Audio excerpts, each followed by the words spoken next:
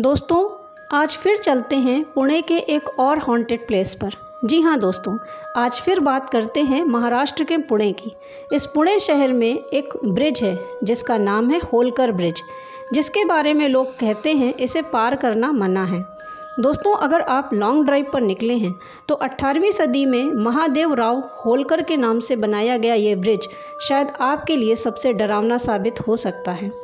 पुणे के लोग रात के वक्त यहाँ से गुजरने में कतराते हैं और इस ब्रिज की कहानियाँ सुनकर तो यही लगता है कि वो सही करते हैं। बीते कुछ सालों में यहाँ बहुत सी रहस्यमयी मौतें हुई हैं। जो लोग इस ब्रिज से ज़िंदा वापस आ भी गए हैं, उनका तो यही कहना है कि उन्होंने यहाँ कुछ अजीबो गरीब घटनाओं को महसूस किया है।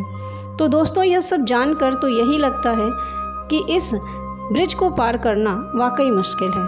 इसलिए अगर आप भी कभी उस ब्रिज की तरफ़ जाएँ तो उसे पार करने का साहस ना ही करें तो अच्छा है। तो दोस्तों, कैसी लगी आपको यह जानकारी? अगर अच्छी लगी हो तो सबके साथ शेयर कर दें। और वीडियो को लाइक करना ना भूलें। धन्यवाद।